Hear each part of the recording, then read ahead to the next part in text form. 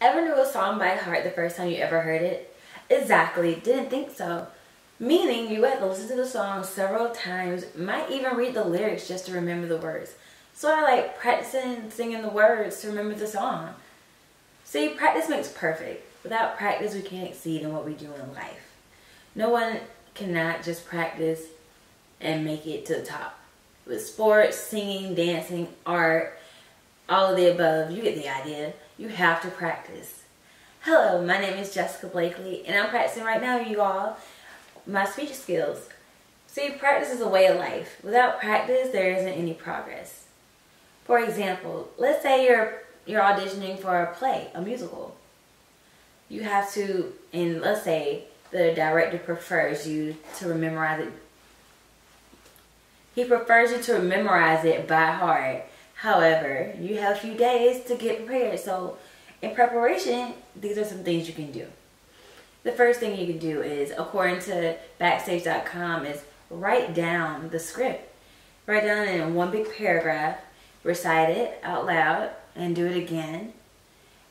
And that's one way. Another way is the rote way, if I can remember, the rote way, which is repeating it over and over, the regular way. And that will really help. Just always stay calm, relax. Don't overthink it. Relax. It's not that big of a it is a big of a deal, but it's not that big of a deal for you to overdo it. And also listen um, recite your recite your your lines in front of a friend so you can get constructive criticism. That will also help. Because at the end of the day, the more you practice, the better you get and the more you'll get to memorize it by repeating it, and then you'll be most definitely getting that role you want. Let's for another example, trying out for a sport. Let's say you did this sport for a while, but you took a hiatus, and now you want to get back into it. Of course, you go the first day to see what they want, what they're looking for for the sport, what kind of people looking for, what kind of skills they're looking for. Of course, you want to get back in the game and you want to be on the team. If you've played the sport before, it should be like just cleaning up your um, skills. Definitely. So, of course, you work your hardest at at the tryout practices. You work out outside of tryout practices.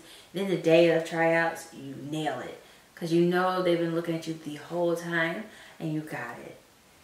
Another one is you can never, oh, you cannot overdo it. Imagine if Bill Gates gave up and didn't improve his craft of Microsoft. He wouldn't probably be the billion, the biggest billionaire in the world. Another thing is LeBron James. He's he's taken a lot of L's, but it's okay. He's taken a lot of losses you know, first time he was with the Cavaliers, he didn't win a ring, but it took him a few years to get a ring to another team to come back to his home team and get the ring last year in 2016. Another person is Oprah. Oprah didn't necessarily have to practice, she just had to work very hard to get where she's at. And also, with that being said, practicing is also hard work. It's not going to be simple. You have to work hard for what you want in life. And remember, you have to practice no matter what you do. Practice makes perfect, practice makes progress. Again, I'm Jessica Blakely, and I hope that these tips helped you out. Thank you. If there are any questions, you can comment below.